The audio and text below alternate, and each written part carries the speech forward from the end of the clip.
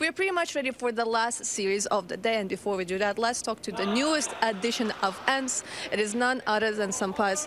Sunpayus, previously you played only on Spanish teams, and right now you're playing on an international one. How, like, do you have any difficulties communicating in English?